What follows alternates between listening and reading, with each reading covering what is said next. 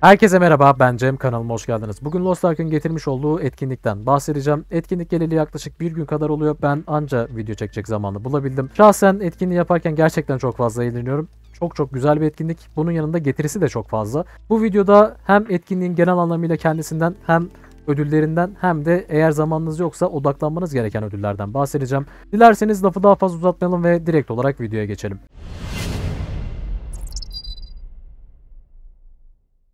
Öncelikle etkinliğin kendisinden bahsedelim.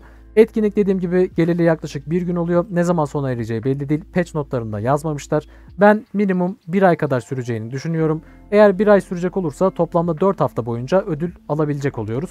Etkinliğe katılmak için yapmanız gereken şey çok basit. Her büyük şehirde bulunan RKC Grand Prix Manager adlı NPC'ye geliyorsunuz. Buradan günlük olarak görevinizi alıyorsunuz. Görevi aldıktan sonra her şehirde bulunan RKC Grand Prix adlı kısma geçiyorsunuz. Şurada şu simgeyle gösteriliyor. Bu noktaya geldiğiniz zaman event saati de geldiği zaman buradan bir kapıdan geçiyorsunuz. Event saatini takip etmek için şuradan bakabilirsiniz. Çalar saate tıkladığınız zaman gördüğünüz üzere RKC Grand Prix yazıyor.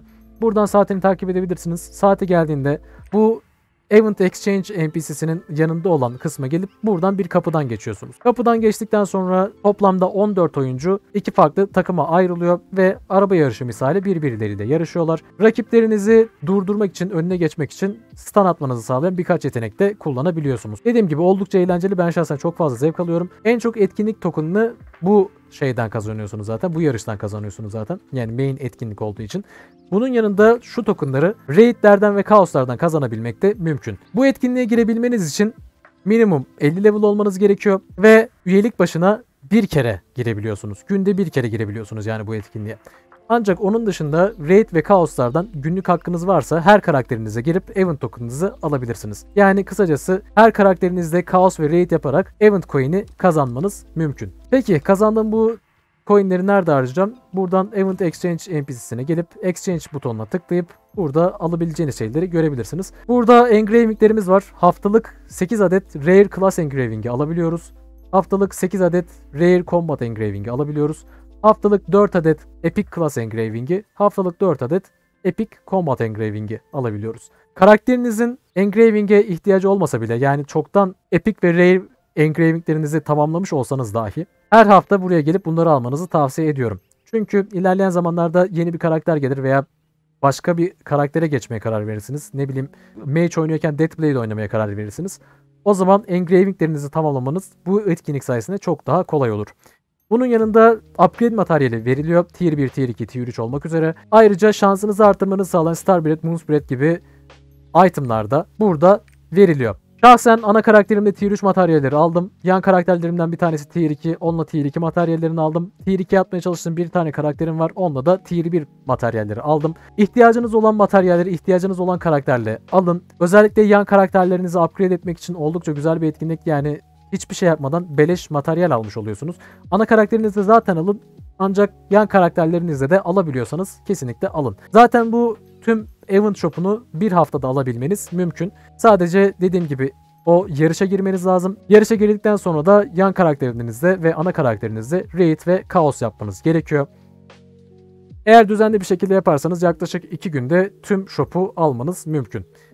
Burada exchange kısmı var. Exchange kısmı da aslında oldukça önemli. Burada en önemli şey buradaki piyonlar.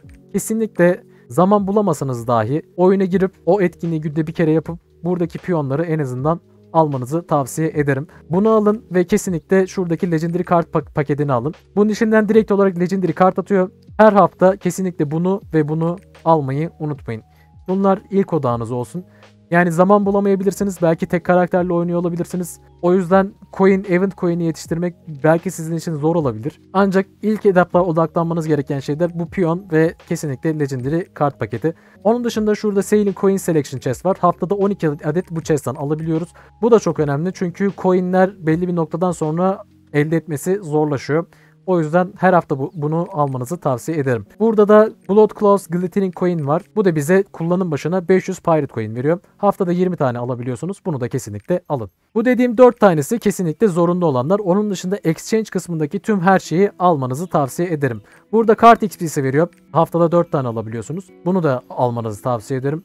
Kart paketi veriyor 10 tane. Bunu da alın. Fazladan kart hiçbir zaman göz çıkarmaz. Günlük UNA görevlerini anında tamamlamanızı sağlayan bir item veriyor. Ayrıca günde fazladan bir adet UNA görevi yapmanızı sağlayan bir item daha veriyor. Bunu da kesinlikle alın. Aslında temel önerim buradaki bu marketteki her şeyi kesinlikle hepsini almanız her hafta aksatmadan buradaki her şeyi almanızı öneriyorum.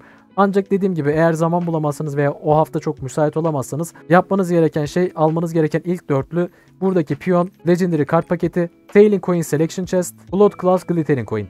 Bu dört tanesini mutlaka alın. Sonrasında eğer coin'iniz artarsa engravinglere geçebilirsiniz. Ondan sonrasında ise upgrade materyallerine geçebilirsiniz. Dediğim gibi karakterinizin engraving'e ihtiyacı olmasa dahi buradaki engravingleri alın ve stoklayın.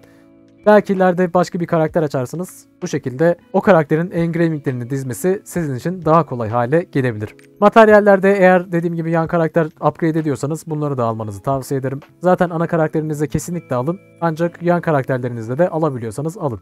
Evet, Event hakkında bahsedebileceğim bir şey kalmadı. Umarım bu video yararlı olmuştur. Beni izlediğiniz için teşekkürler. Bir sonraki videoda görüşmek üzere. Kendinize iyi bakın. Hoşçakalın.